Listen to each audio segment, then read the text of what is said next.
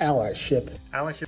Allyship. Allyship. Allyship is an intentional lifestyle. And we believe there are several essential elements to being an effective ally for people from historically excluded identities at Bowdoin.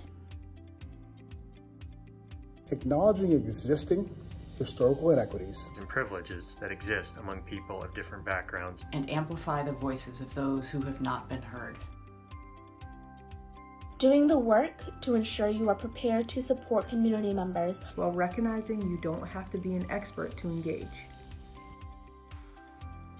Recognizing and respecting everyone has their own lived experiences that informs their worldview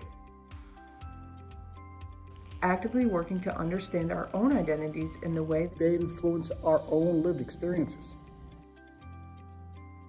Developing relationships with individuals that are built upon mutual trust and go beyond surface level understandings of one another.